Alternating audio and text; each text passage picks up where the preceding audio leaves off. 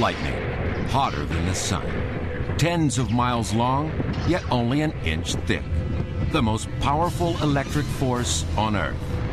Created by ice, yet it burns. It kills. It injures. I went through a year and a half of hell. Fire. We can capture it, imitate it, but we can never control it. Just got it. Oh, right down the side of that rain shaft. Lightning, the violent power of our raging planet.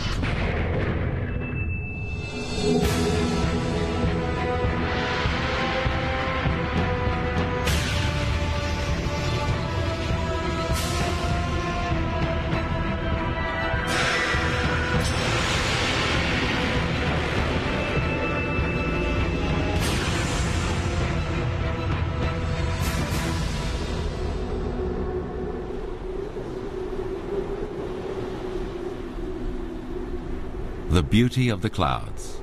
Majestic, tranquil, deceptive. For inside this storm cloud, vast forces are at work. Simple ingredients, moisture, heat, ice, combine to create one of the most powerful phenomena on Earth.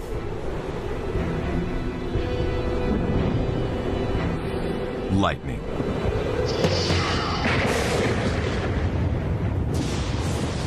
There are 10 million lightning bolts around the world each day, more than 100 every second. Each bolt is less than an inch thick and reaches miles across the sky.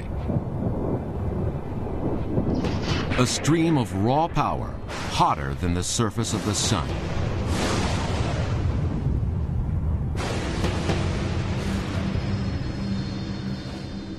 Any one moment, there are at least 2,000 thunderstorms raging across our planet. Lightning is all around us, a natural force of almost unbelievable power. Yet lightning is still a mystery to us, despite 200 years of research. We still have no answers to the most fundamental questions. What causes lightning? Where will it strike? And when?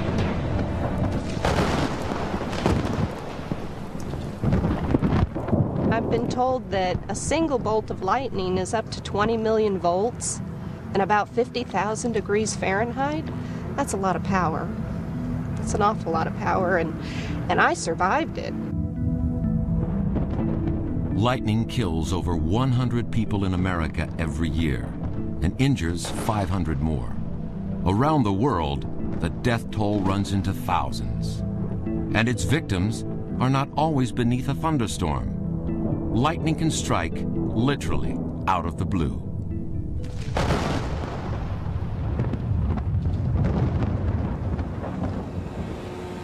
This was the experience of Michelle Dougherty. She was struck while jet skiing on a clear summer day. It was beautiful. It was hot and it was sunny, and we were rented two jet skis for an hour. And it was almost at the end of the hour that the accident occurred. We were out playing around on the jet skis and then heard after several moments a very faint, distant rumble. And we were heading back into the docks, and someplace right in this area is when I was struck by lightning.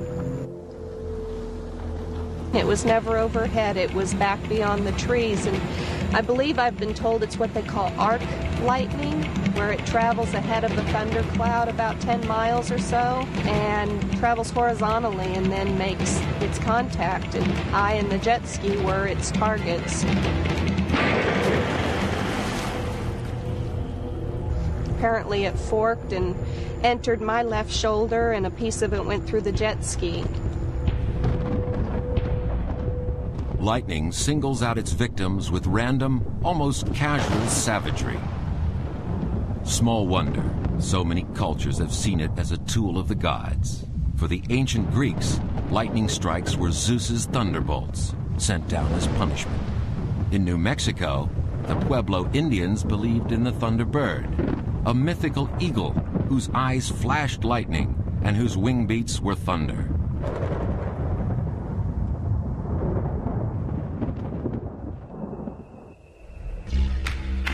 In northern Australia, the Aboriginal people have lived with lightning for thousands of years. From November to January each year, this land experiences some of the most powerful and dazzling thunderstorms in the world.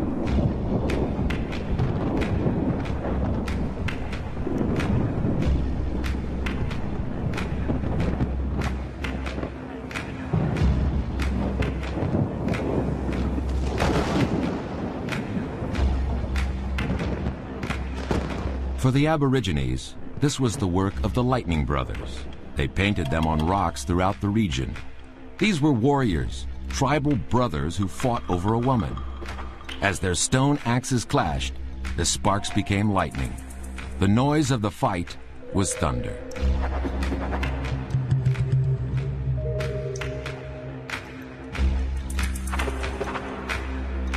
In one story, the triumphant brother had children, rows of baby lightning flashes, waiting to be released.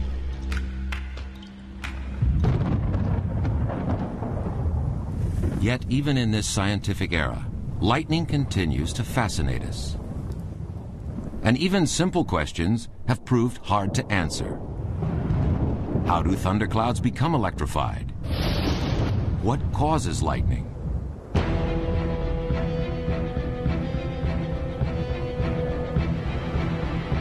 Thunderstorms are water and heat.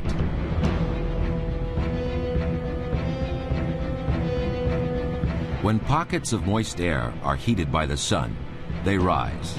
As they gain height, the air around them becomes cooler and the atmospheric pressure lower. The moisture cools and condenses to form clouds.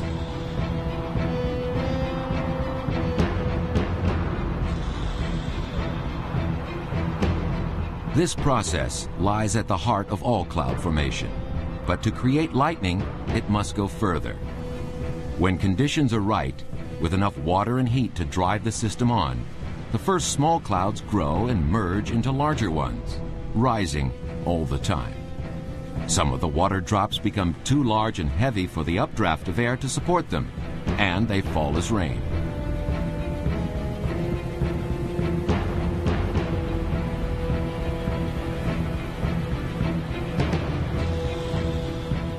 But strong convection currents lift the smaller droplets higher and higher. And in the cold upper region of the cloud, they freeze into tiny crystals of ice.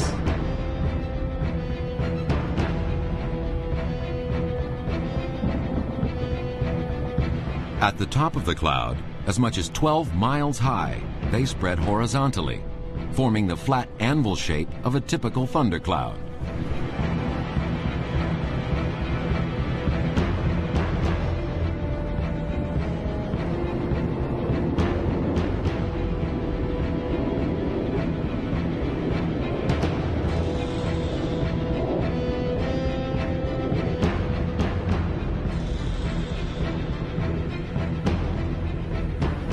Water freezes onto the ice particles, and they grow into hailstones, which drop back through the cloud.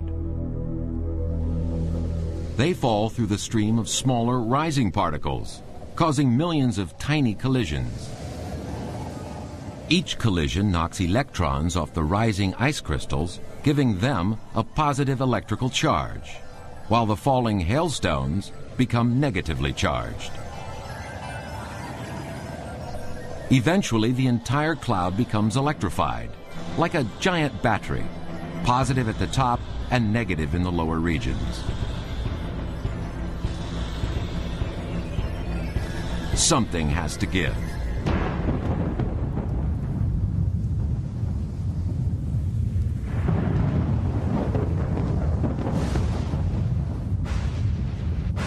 A huge electrical current rips through the air to neutralize the two charges. A bolt of lightning has been created.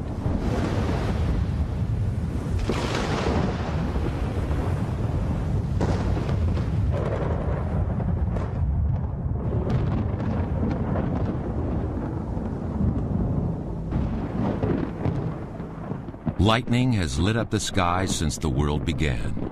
Scientists now believe that lightning may be the spark that created all life on Earth. Four billion years ago, lightning bolts may have ignited chemical reactions in the primitive oceans to produce the first amino acids, the building blocks of life itself. And lightning still sustains all life today.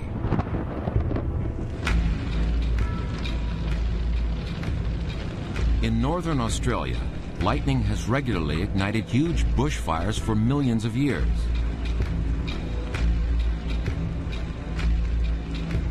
They clear the ground to allow new growth, a process of natural regeneration.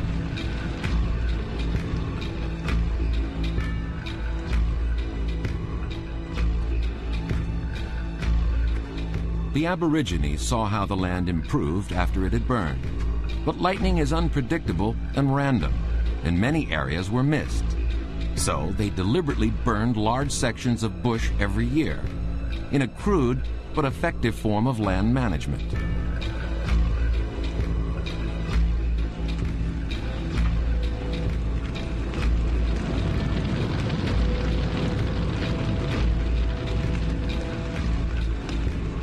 The bush regenerated and the land filled with new life the Lightning Brothers taught the Aboriginal people a lesson in survival.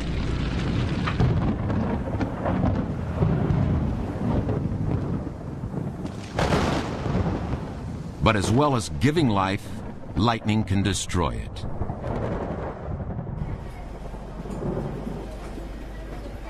Lightning kills one in every six people it strikes. Survivors are often left with severe injuries. Most doctors rarely encounter lightning victims and do not recognize the signs. One of the few specialists in lightning injuries is Dr. Mary Ann Cooper. Hi. I'm Dr. Cooper. What happened to you? Oh, I was I was at home on the on the telephone. I heard a big crack, and next thing you know, I was I was across the room. And I'm complaining of some, some pain in my shoulder. Just just the one shoulder? Yeah, just just the shoulder, and my ear kind of hurts a little bit. I, I just I just don't feel quite right. Lightning, uh, while you think about it as being tremendous energy, garden variety lightning is probably around 10 to 30 million volts and 10 to 30 to 50,000 amps.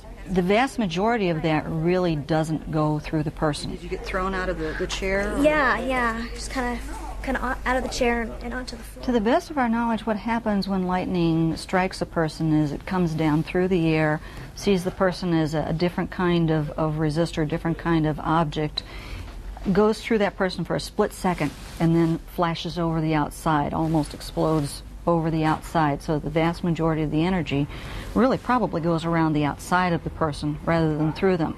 No, no belly pain. And other than the numbness and tingling, you don't really feel much other than the, in the legs. I just don't feel like 100% right, but but yeah, they, it's just kind of tingling. They, they don't really hurt or burn.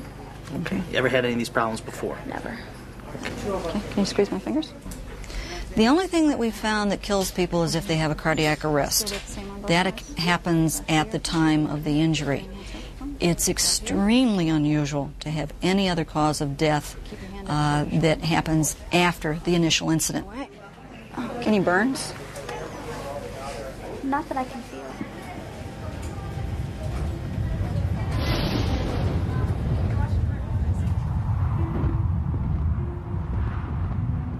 Yet despite the danger, people are still fascinated by lightning's beauty and power.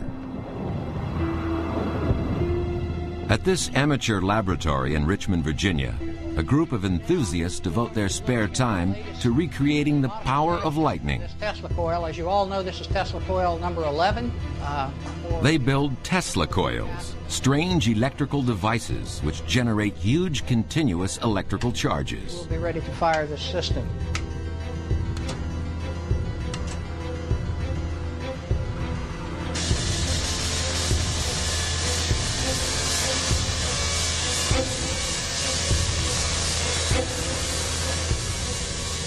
This Tesla coil creates 2 million volt sparks that leap 10 feet through the air.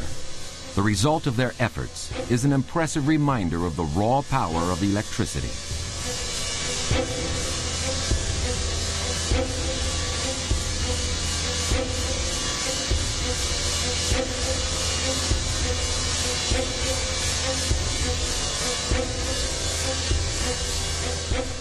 The effect on those watching can be hypnotic.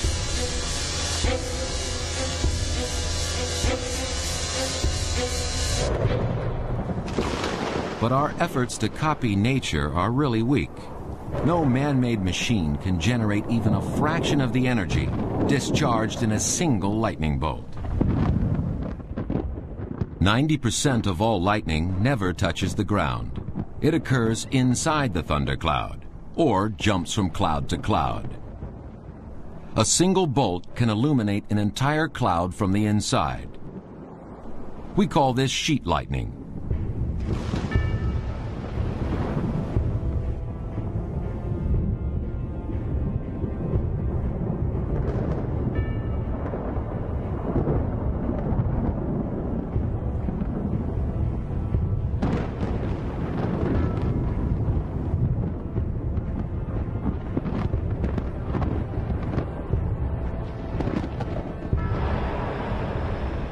Lightning bolt flashes from cloud to cloud, it forms ribbons, streamers, and spider lightning. These complex flashes are frequently many miles long, sometimes a hundred miles or more.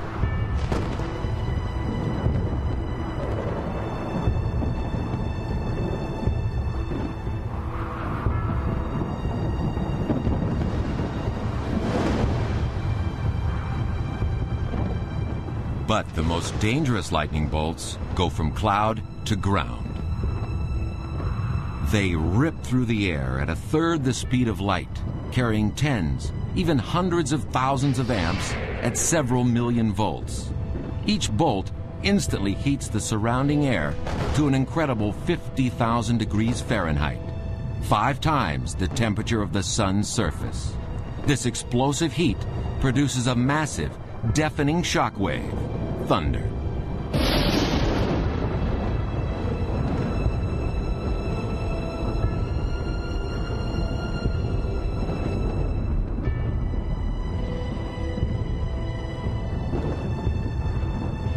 One of lightning's greatest mysteries is why it takes a particular path through the air. Only now is science beginning to understand this. It begins in the negatively charged region in the base of the cloud. Here, thin, barely luminous electric feelers, called stepped leaders, zigzag through the cloud. In a millionth of a second, each feeler leaps about 50 yards, pauses, then leaps again, branching and forking through the cloud. Occasionally, a leader leaves the cloud and jumps towards Earth. About a hundred yards above the ground, its intense negative charge begins to affect the land immediately below. Positive electrical charge collects in pointed objects, blades of grass, pine needles, tree branches, and metal poles. They emit upward streamers towards the descending step leader. If they make contact, the cloud is suddenly wired to the ground.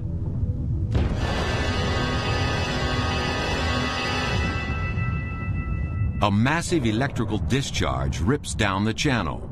The portion closest to the ground discharges first. So as the current pours down the channel from higher and higher regions, the visible bolt of lightning shoots upward at close to the speed of light. But that's not usually the end of a lightning bolt. If the cloud still has excess negative charge, a new leader may fly down the same path, creating another stroke. More leaders may follow, usually about three or four, but there can be as many as 30 or 40. To the human eye, a lightning bolt appears to flicker. This video footage contains a rare example of an upward streamer caught on camera. At normal speed, this appears to be just another lightning bolt striking close by. But watching the footage frame by frame, just before the main lightning bolt, a snake-like streamer is clearly visible, shooting upwards from the ground. The lightning actually hit some distance away, because the streamer did not make contact. If it had, the cameraman would have been in extreme danger. Yet there have always been people prepared to tempt fate by putting themselves in the path of a lightning bolt.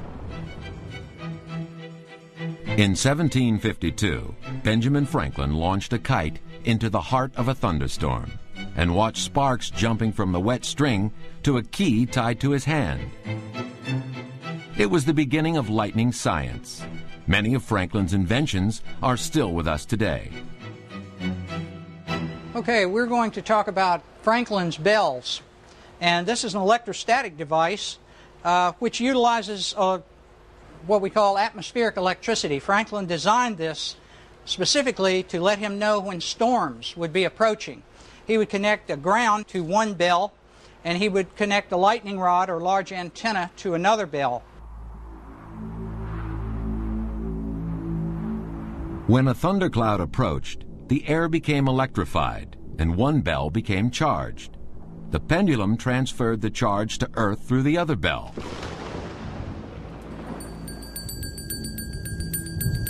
When the bells began to ring, Franklin knew a storm was approaching.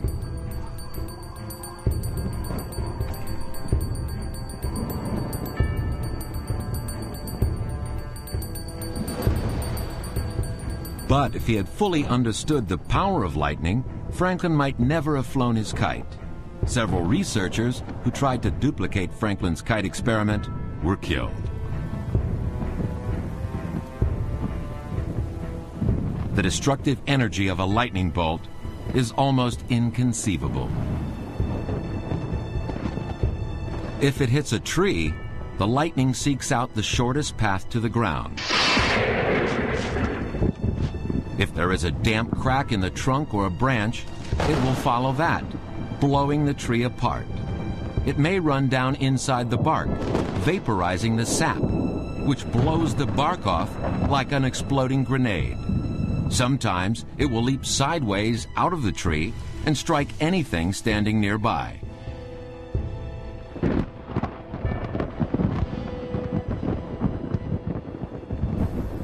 A similar sideways leap almost killed Tony Scott, a telephone engineer in Miami. He knew the risks of working outside during thunderstorms and thought he took the right precautions. I was here to add a second telephone line to the customer's house.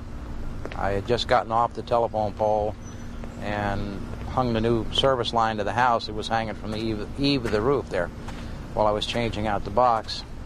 Uh, next thing I know, I saw a flash. That's all I remember until I came to uh, on the other side of the yard. Uh, the wire wasn't grounded or anything, and they tell me that what happened is lightning hit up on the pole there.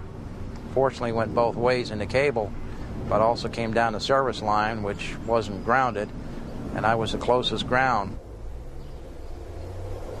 When I came to, I, I was I couldn't move. I was paralyzed, and I felt like I had a mouthful of silver, and I couldn't even spit it out because I couldn't turn my head or anything.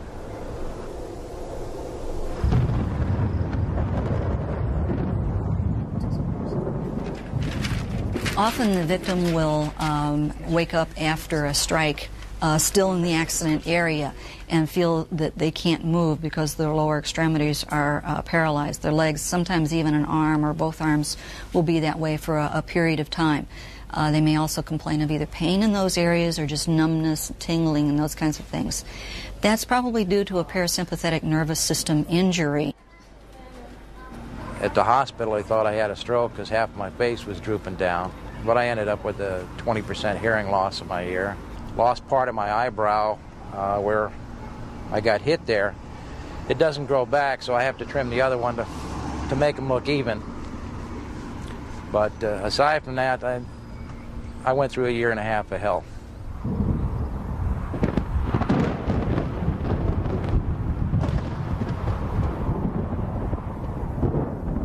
Its unpredictability and power make lightning protection an extreme challenge. Where will it strike? What protective measures can we take? To help answer these questions, at Camp Blanding near Gainesville, Florida, scientists spend the summer months triggering lightning strikes, using principles that Benjamin Franklin would easily have recognized. Here they fire rockets up into the heart of active thunderclouds.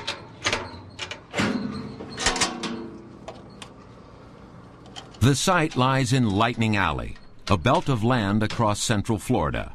Lightning Alley has more thunderstorms than anywhere else in America. The rocket trails a fine copper wire behind it. The idea is for lightning to strike the rocket and then follow the wire down to the ground. The researchers can then study and measure the effects of lightning at close range.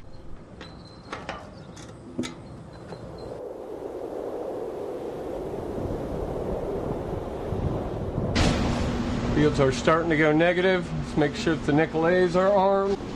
Range control, this is the lightning side, over. Range control. Confirm at 1509, going hot. Everything's armed, turning on power, turning on air. Arming for rocket number one. Fields are at negative five. Moving to negative seven. Negative seven and arming. At negative eight, we fire. Three, two, one, fire.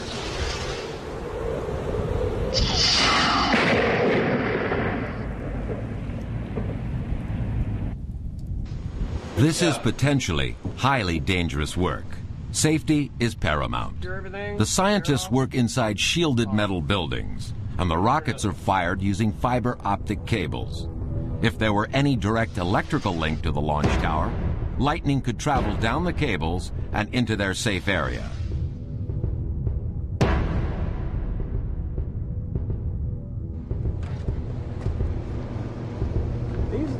Styles of rockets that we use at present.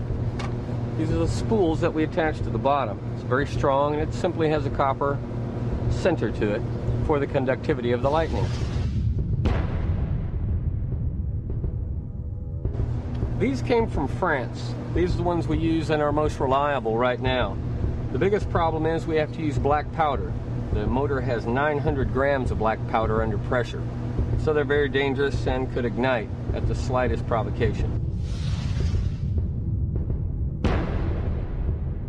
Our other style that we're using right now, which is a lot more desirable, and it makes it that way because it's got a parachute attached. Thus, it's recyclable. These are a before shot. This is an after. The main aim of the research is to test cables and machinery used in the electrical power industry. Power cuts are often caused by lightning strikes to large outdoor installations. The researchers measure the enormous power surges during the triggered strikes to help develop new, more lightning-proof systems. Successful triggering requires experience and skill. The moment to launch must be precisely timed. As the negative charge increases in the cloud, sensors measure the corresponding positive field in the ground. They can only fire when this field reaches a critical level. And fire. Even then, they're not always successful. They trigger lightning on about 70% of launches. Sometimes they get more than they bargain for, and the triggered lightning sets off much more powerful natural strikes.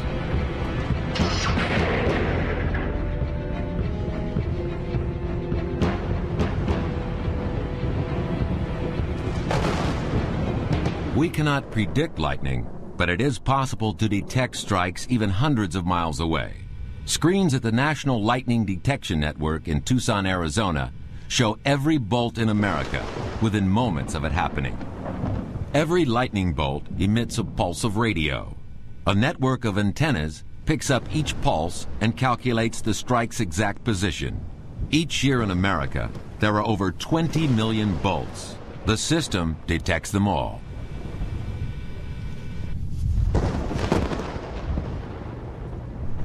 Gunner Blank uses a similar but portable radio detector to help him hunt for lightning storms. Oh, nice one. The storm's putting out pretty good lightning over here.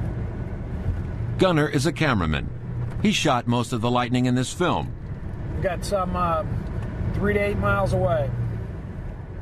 His detector cannot pinpoint each bolt's position, but it can tell him how far away it is. Another one 8 to 20.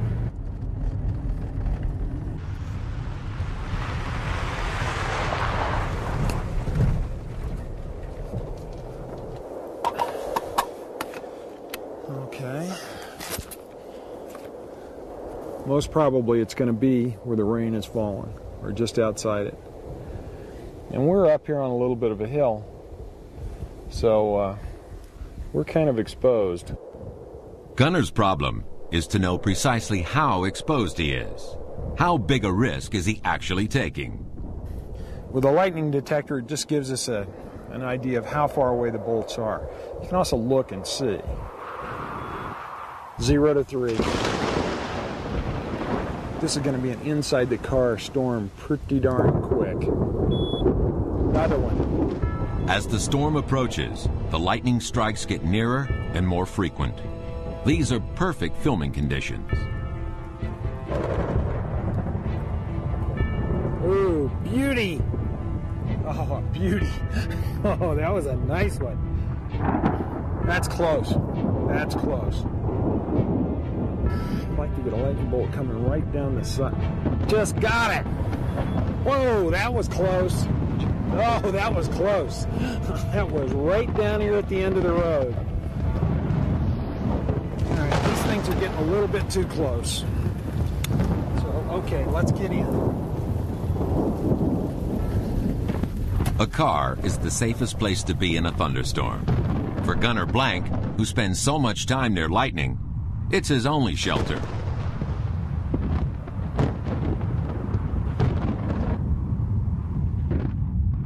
Most people assume cars are safe because they have rubber tires, but that's not the reason.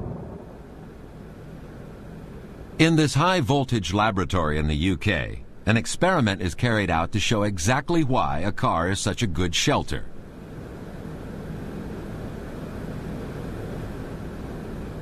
Theoretically, if the vehicle is struck by a high voltage spark, its metal chassis will conduct the electric current around the person inside the car and down to earth through the tires. It would be perfectly safe to sit inside the car during this experiment. However, safety regulations insist that a dummy is used. Eight, seven, six, five, four, three, two, one. The dummy has been wired up so any current passing through it can be measured. Time and again, a 2 million volt spark strikes the car, and each time the dummy is untouched. In these laboratory conditions, at least, the theory works. You really are safer inside a vehicle during a thunderstorm.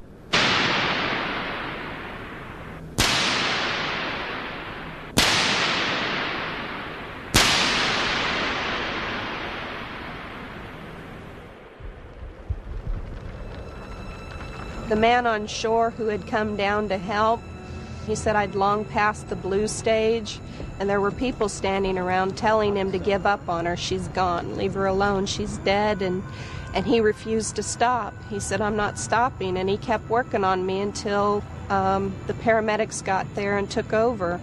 And then it took them the four minutes before they got those vitals.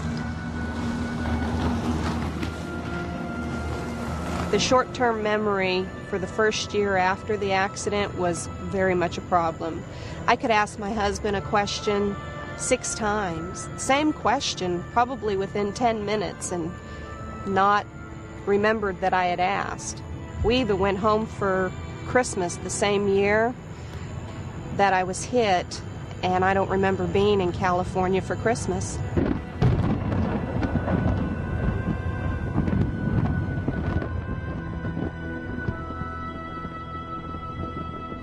The major things that I experienced was uh, equilibrium problems. I would just fall over without any warning. Uh, mood swings. Uh, I'm a man who's always had a sense of humor, and I lost my sense of humor. An analogy would be if you ran an electric um, shock through a computer. The outside of the computer looks okay. Probably if you took the casing off, the inside of the computer would look okay, but the software wouldn't work. Same thing happens with a person. Is very often they'll have memory deficits, uh, problems with uh, short-term memory, in particular with coding information, so that they can carry on a perfectly decent conversation with you in the emergency department, and then if you see them the next day, they don't remember they've ever spoken to you. Could be.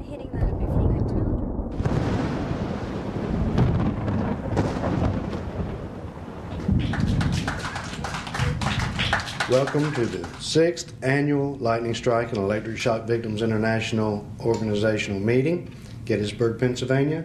The physical and emotional problems lightning victims encounter are hard for anyone else to comprehend. So every year, survivors meet to share their experiences with each other, the only people they know will understand.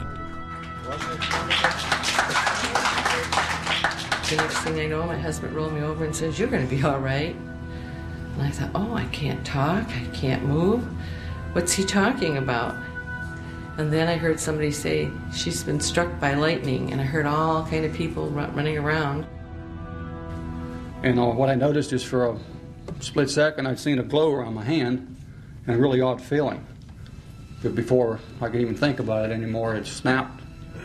She's seen a big bolt come over some treetops, and why it hit the van, I don't know. There's quite a few. The group was set up by Steve Marshburn, himself a lightning victim. From the time I was injured, I'd been uh, corresponding with other people that had been struck by lightning, and I knew something had to be done because I knew others must be hurting as badly as I was for information, for answers. I've learned to deal with the capabilities which I have right now. I, I treasure life every day.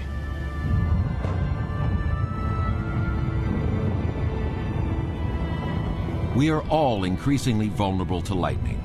Strikes can damage the technology our society depends on as easily as it can hurt people. Yet, even today, the best way to protect our fragile high-tech communities is with a device 200 years old, the lightning rod. The rod must be strong enough to withstand the huge voltage and current of a strike. And in this outdoor experiment in Japan, lightning conductors are being tested with simulated lightning. Three million volts of electricity jumping at least 20 feet to the ground.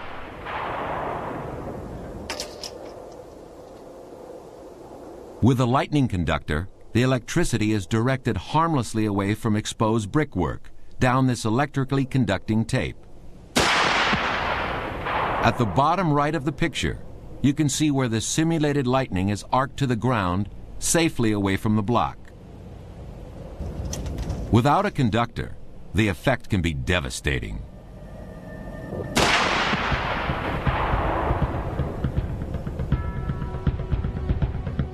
The more sophisticated our technology becomes, the more vulnerable it is to lightning strikes. And one of the most vulnerable technologies of all is the airplane. In the air, a plane's radio systems, radar, and fuel tanks are all potentially at risk.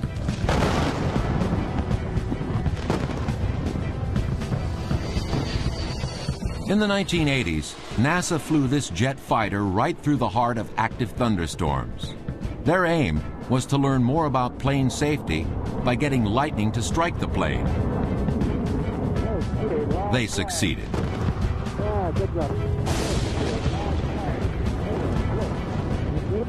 Today, every airplane's metal shell is carefully designed to conduct any lightning bolt around the outside of the craft in complete safety. But with a machine as sophisticated as the Space Shuttle, these simple measures are not enough. We are go for start. Five, four, three, two, one. Booster ignition and liftoff of Atlantis on a mission to study planet Earth. The Space Shuttle is a multi-billion dollar combination of high explosive fuel and delicate circuitry. A direct lightning hit could easily destroy any of the millions of electronic circuits on board the craft. The shuttle's lightning protection system is possibly the most complex and advanced in the world. It has to be. The Florida launch site is right in the middle of Lightning Alley, and the launch tower is the highest object for miles. It's vital to detect any lightning storms that may endanger the shuttle and to protect the spacecraft if it's hit.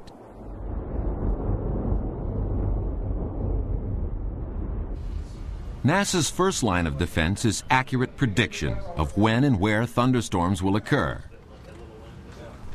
At Cape Canaveral Air Force Base, A special weather group monitors the buildup of storm systems 24 hours a day. If lightning comes to within even a few miles of the shuttle, stringent safety measures are immediately put into effect. If it's during the countdown, the launch will be halted if there's the slightest risk of a lightning strike. Lightning is expected to occur within 5 nautical miles, starting at 1345 local time to 1545 local time.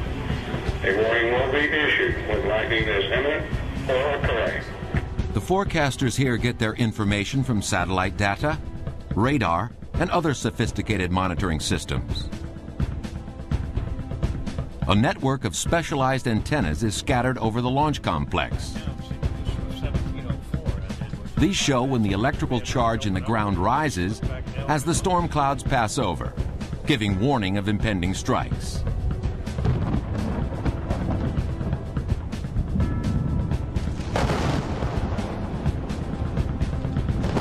But it's inevitable that the shuttle or the launch tower will sometimes be hit by lightning, as this NASA security camera footage shows.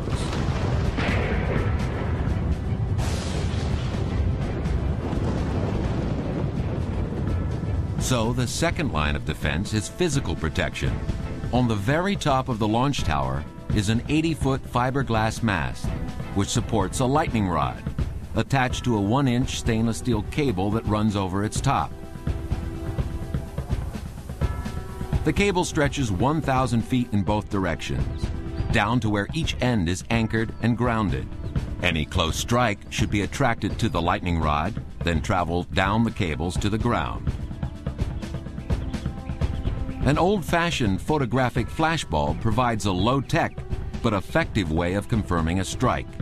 If the bulb is blown, the cable was hit. The shuttle's main fuel tank contains nearly half a million gallons of liquid hydrogen and oxygen.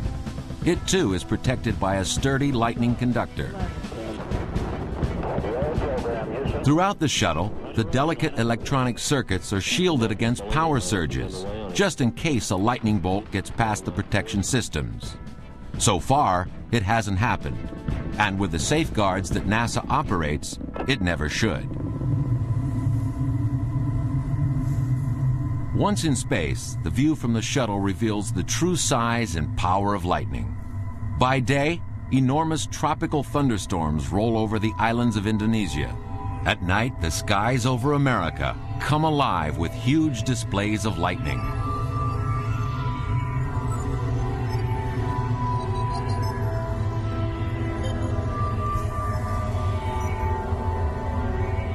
On our planet, there are 6,000 lightning bolts every minute, each producing its own pulse of radio. At one particular frequency, those pulses can be heard around the world. Pick up that signal, and you can listen to the sound of all the lightning everywhere.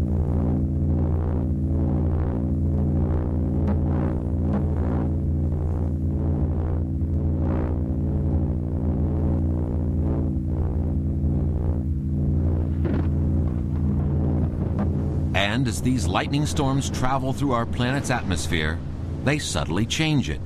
We now know that lightning plays a major role in sustaining all life on Earth. This plane is part of a complex scientific research program in Colorado, designed to analyze lightning's effect on the atmosphere. The plane has been fitted out with devices which suck air into instruments fitted inside.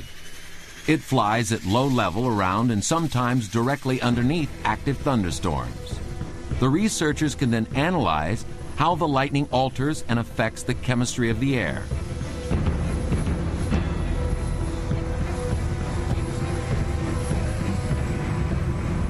Lightning literally burns the air it passes through, generating new chemicals from the atmospheric gases.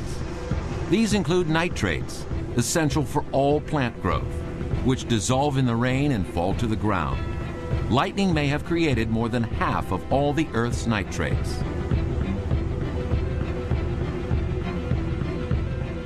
And every lightning bolt creates ozone.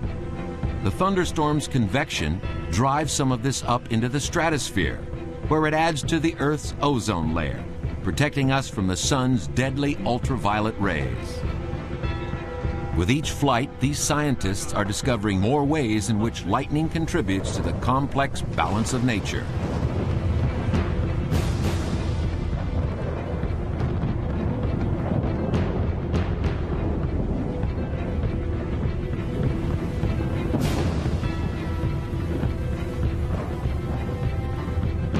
With every new discovery, lightning offers us new surprises and new mysteries.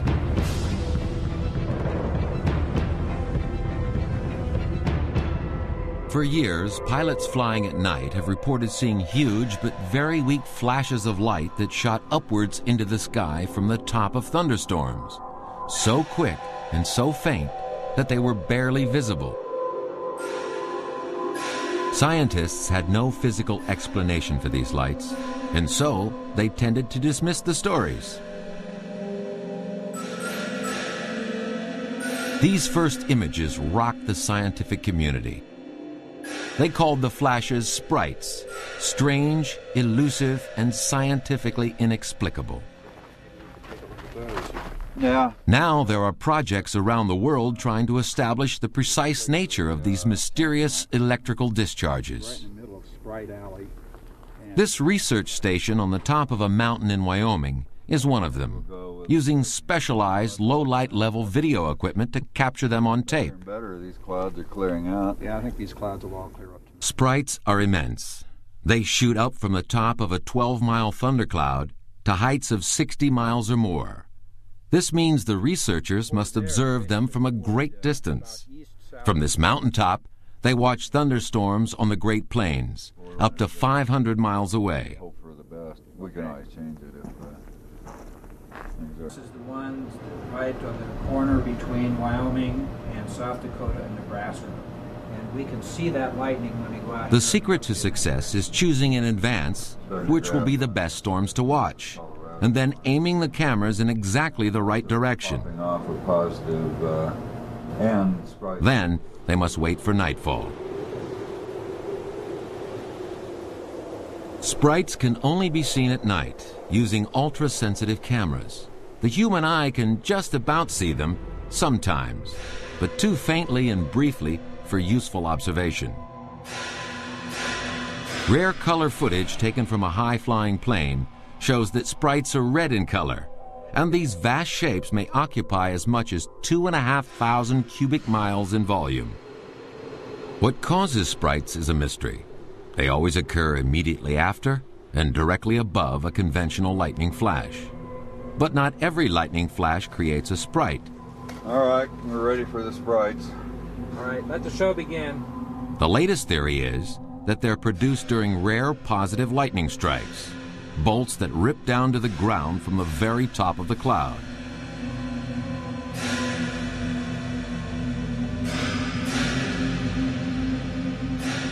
The researchers have also discovered a second phenomenon. These upward sprays are called jets. They're fainter and quicker than their cousins, the sprites.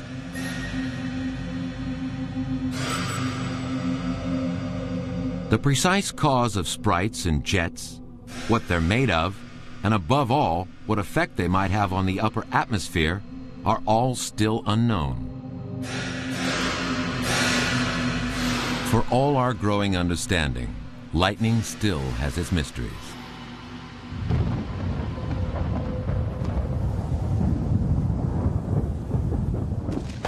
I still get jittery when it's lightning out. Uh, you know, I, I try not to fear it. I try and respect it. But if it's lightning real close by and, and uh, you know, pretty severe, uh, I go for cover.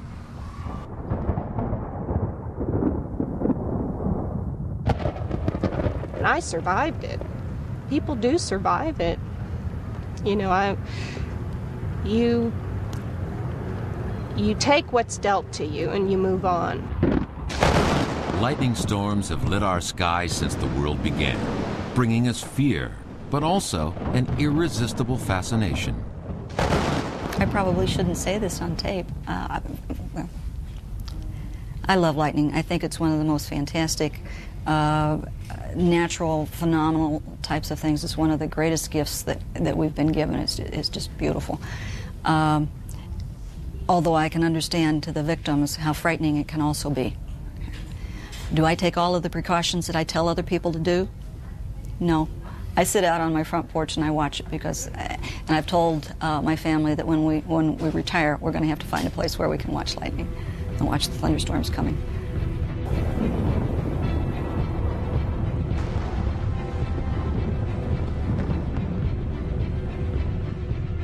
To eight. Well, we're going to hang on. I, th- I still think we're going to get some more out of this. Lightning. Beautiful, intense, lethal. Yet despite its terrible danger and immense destructive force, there will always be those who are willing to defy the awesome power of our raging planet. God